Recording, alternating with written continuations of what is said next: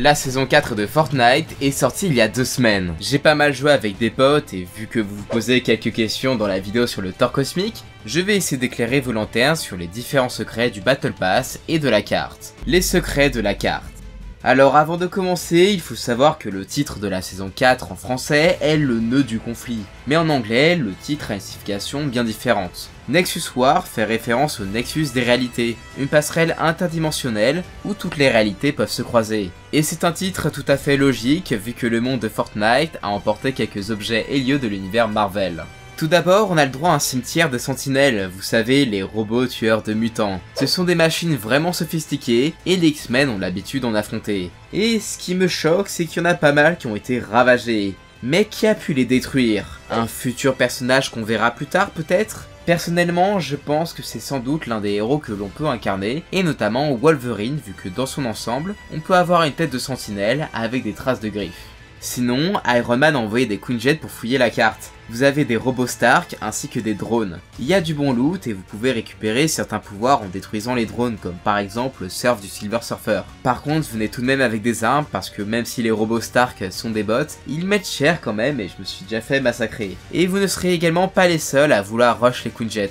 Donc préparez-vous, à rencontrer d'autres joueurs. Et lieu assez intéressant sur la carte, c'est le fief Fatalis. Et il faut déjà savoir que le terrible ennemi des 4 fantastiques a un ego absolument énorme, au point qu'il parle de lui à la troisième personne dans les comics. Et il a même construit des robots de combat, les Fatalibots, à son image. Ils sont même trouvables dans le jeu. Cet ego est l'une des plus grandes caractéristiques du personnage, donc vous savez pourquoi il y a une giga statue de Fatalis en son centre, et pourquoi il y a plein de tableaux à son effigie dans son manoir. Et le tout dernier lieu de la carte, c'est la statue de la panthère noire que vous pouvez pas détruire. Il était prévu par Epic Games de rajouter ce monument bien avant le décès récent de Chadwick Boseman, l'acteur de Black Panther. Vous pouvez y faire un tour si vous souhaitez rendre un petit hommage à l'acteur. Les secrets du pass de combat.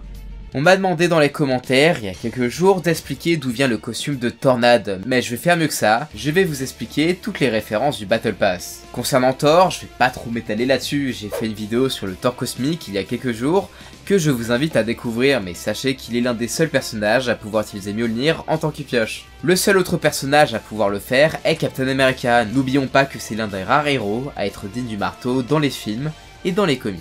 Le second personnage qu'on débloque est Jennifer Walters, c'est la cousine de Bruce Banner. Elle peut se transformer en She-Hulk et elle a notamment toutes ses capacités intellectuelles en plus de la force. C'est donc pour ça que sa description, euh, il est dit qu'elle a le cerveau ou les muscles, pourquoi pas les deux.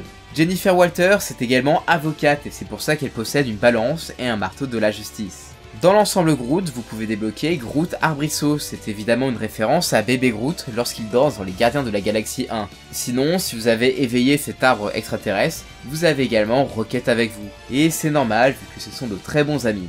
Et sinon, la description du personnage fait référence à sa fameuse phrase « Je s'appelle Groot ». L'ensemble Tornade dispose de références à sa capacité à contrôler les éléments. Sa description la compare à une déesse et dans les comics, elle pensait qu'elle en était une, vu que c'était la seule qui avait des pouvoirs dans son village. Sauf que pas de bol, elle est mutante. Sa tenue est basée sur le X-Men 1 dessiné par Jim Lee. Concernant le Docteur Fatalis, son ensemble fait référence à son statut de dirigeant de la Latverie, un pays fictif de l'univers Marvel. Mais il y a d'autres choses, c'est ses capacités magiques, parce que oui, le Docteur Fatalis est l'un des meilleurs magiciens de la planète. Le costume de Mystique est basé sur celui des comics, parce que oui, elle ne se balade pas toute nue comme dans certains films X-Men. Pour Iron Man, on a une référence à la fameuse phrase qu'il a dite à Captain America. Genius billionaire playboy philanthropist. Sinon, son armure me fait penser à celle des films, la marque 85. Concernant Wolverine, il a une tête de sentinelle pour son accessoire de dos, et sa description de skin dit qu'il est le meilleur dans son domaine. Une référence évidente à la phrase « il est le meilleur dans sa partie », pour dire qu'il est bon pour défoncer des gens, et surtout les tuer de manière ultra violente. Son costume est basé sur le comics Astonishing X-Men parce que oui, le costume jaune a bien changé entre temps. Et concernant les costumes alternatifs de certains personnages, Jennifer Walters Écarlate a la possibilité de se transformer en Red She-Hulk, qui est en réalité une transformation utilisée par Betty Ross, l'ex-femme de Bruce Banner.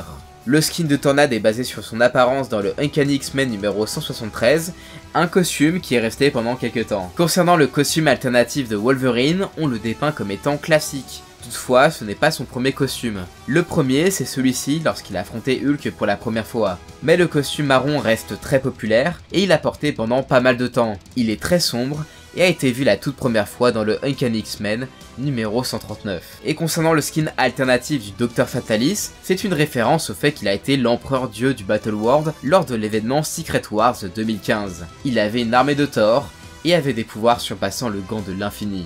Voici donc les secrets du Battle Pass et de la carte. J'espère que vous avez pu apprécier euh, ces petites références et en tant que fan de comics, c'est du pain béni. Le crossover a été fait avec respect et amour et ça se voit avec les références présentes. Si vous souhaitez en savoir un peu plus concernant Thor et ses costumes, je vous conseille de voir ma vidéo sur le héros du tonnerre. Sinon, dites-moi également quels sont les skins que vous préférez. Personnellement, je suis fan du skin de Thor et du costume de base de Wolverine. Je m'occupe actuellement d'une vidéo sur le Dr Fatalis et celle sur Galactus, Abonnez-vous et suivez-moi sur les réseaux sociaux pour ne pas louper ces futures vidéos. Je vous dis à la prochaine, ciao